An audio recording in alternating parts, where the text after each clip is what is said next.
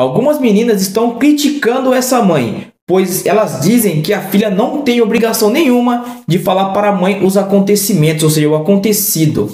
Qual a sua opinião? Engraçado, Hã? galera, que ela não conta nada pra mim. E quando é as amiguinhas chegam e tudo, ela fica contando. Aí comigo ela não Esse quer jovem contar. de hoje em dia. Quieta, menina. Fica quieta, tô estressada com Eu vou pegar e falar pra família todinha. O que dos foi? meus Eu da tua problemas. Porque eu cheguei foi? nessa. No momento que eu descobri que eu estava grávida, eu cheguei na senhora, mãe, tô grávida. A senhora fez o quê? Sim, falei só pra mim. Falou. E não Sim, é coisa minha. Um é uma coisa minha. Mas tu pensa o que ela... Gente, presta atenção, galera, o que tá acontecendo. E por que Ela, você deixa eu tá falar. Eu Deixa eu falar, Hum? deixa eu falar. E o que é que tem? Eu tô gravando qual.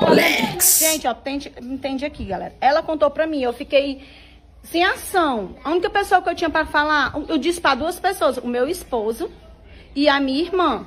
Porque eu não tava aguentando, né? Eu, eu, sim, eu sempre vi a Letícia uma bebezinha, uma princesinha. Não me toque. Imagine a, a sua filha chega. Sim, aí, aí, Deixa aí todos os problemas que eu vou falar pra senhora, a senhora vai falar pra ela? Não. Pra procurar Mulher,